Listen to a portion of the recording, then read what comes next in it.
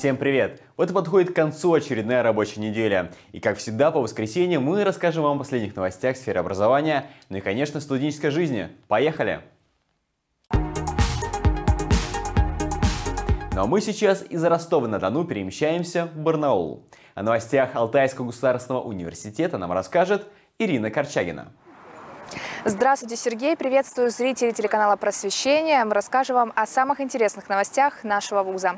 Повернул не к черту, а в классический вуз. Гарик Сукачев встретился со студентами АГУ накануне первого съемочного дня своего фильма «Алтайская песня». Подробнее в сюжете. Здравствуйте. А, можно задать музыкальный вопрос? Да Можете продолжить песню? Не готов. Сейчас надо как-то какое-то время. Извините. Не каждый день выпадает возможность пошутить над известным музыкантом, но студентам АГУ повезло. Накануне они встретились с Гариком Сукачевым. Великий рок-музыкант приехал на Алтай как режиссер нового фильма. Преподаватели Алтайского госуниверситета являются научными консультантами этого фильма.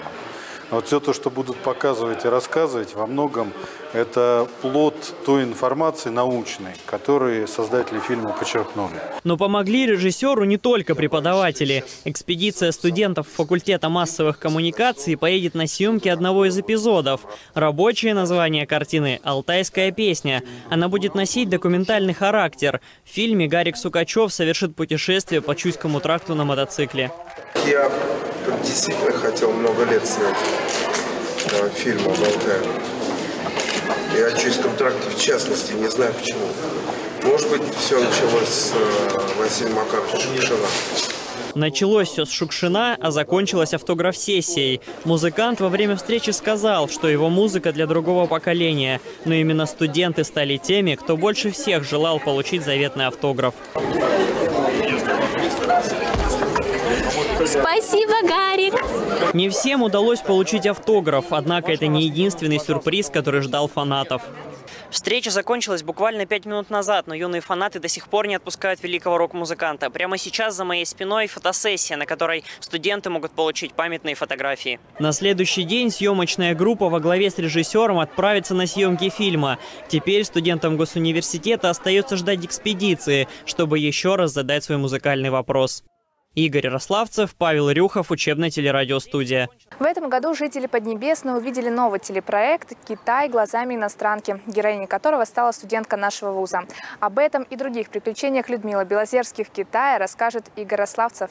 Офейсін, да ні джуйло джити, хэнхаутин, хантитен хусин. Этот голос в алтайском государственном знают немногие, а вот в Китае с экранов телевизоров его совсем недавно услышали миллионы. Он принадлежит студентке четвертого курса факультета массовых коммуникаций Людмиле Белозерских. Накануне девушка вернулась из Поднебесной. Там она прошла финал шоу «Голос». Принять участие в песенном конкурсе предложили китайские друзья. И это не первый опыт для студентки из России. Но сама Мила рассказывает, что волнение было огромным. Самое главное это то, что э, китайцы не поняли, что я иностранка, что я, видимо, наверное, смогла спеть именно вот в той тональности, э, безошибочно.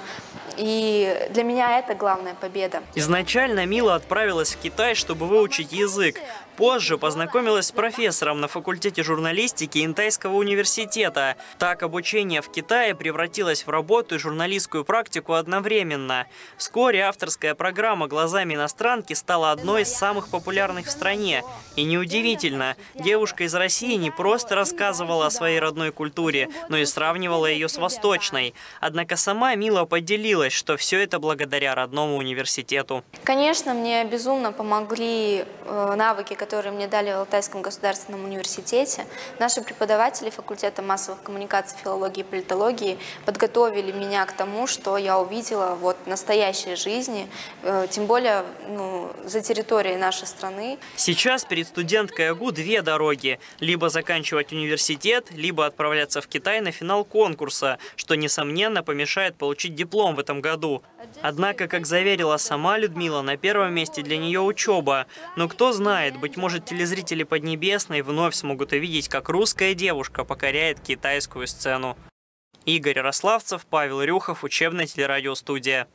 Это были самые интересные новости нашего вуза. На этом я с вами прощаюсь и передаю вам слово, Сергей. Спасибо, Ирина.